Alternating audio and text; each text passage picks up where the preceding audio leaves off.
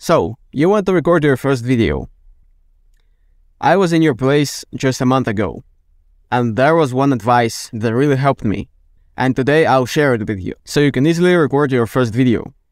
So I'll make this video short. The thing you need to know before recording your first video is you don't need to overcomplicate stuff. Your first video won't be the best video in the world. So you don't have to expect to record the best video in the world. You just need to sit and record something, just like I do now. Also, I don't come to this car prepared to record something. I don't have a text written. I don't have anything.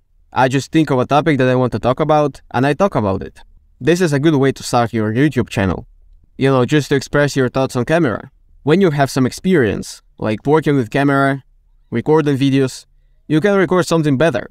But for the first video, you don't have to do anything genius.